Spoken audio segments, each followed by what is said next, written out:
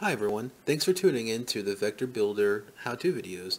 In this video we're going to show you how to change uh, the shape of your vector field with the supplied vector field textures.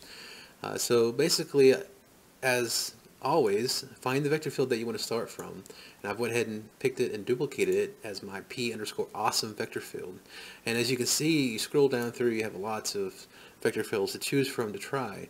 The, the colored ones here, the non-green ones here, are um, test uh, pre-made systems, uh, styles, animated vector fields to uh, to play with and change out these textures to see the different shapes that they they create. So let's do that now. So I went ahead and selected my awesome vector field and I will go to the local vector field setting and go to um, all the different possibilities is in this folder under vector fields. And you see there's uh, I believe 88 of them. Uh, so you have 88 different generated texture fields that are all unique. So let's go ahead and change those out and see what we can achieve here.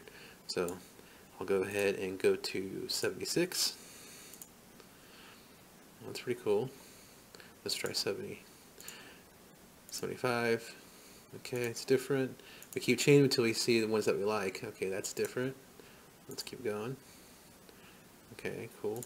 As you can see, there's lots of different possibilities, and I, have got this set up for all the different um, all the different uh, particle systems so you can sit there and just see these settings how they react with different fields because each field is different and unique so they cause the particles to dance around a little bit differently you can get different kinds of effects so you can see all the things I'm just changing a field it drastically changes the look of the effect. So we'll keep moving moving on here. Some pretty cool ones like tentacles and then uh, some ground effect one there. If we look from the top. There you go Keep changing out the different ones. That's pretty strange. You can sit there, I love just doing this all day long. You can sit there and just keep looking at different combinations, different vortexes, different sizes, and see what they create by changing it all out. That's pretty interesting. And let's go here. 58, 57, 56. Some of these uh, uh, fields will look different with different, uh, look better than others on different of these uh, effects that I have pre-made for you. So let's see what else these make.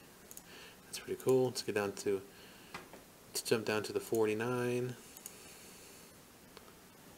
Some of those branches we have in there. Okay, that's pretty wild. Let's try number 47. Now that's pretty crazy. That's pretty cool. So there's some side vertexes there. So basically, that's the uh, the fun is going through all these um, the vector field choices to see uh, how they react. And again, you can open the demonstration levels up to see um, what those vector fields look like themselves. As you can see, there's a ton of them to choose from, over 80 different um, variations of vector fields. So anyways, that's how you change vector fields. This goes for any vector field for any of the builder packs. So if you have any questions, feel free to leave a comment. And uh, thanks for watching. I'll see you in the next video.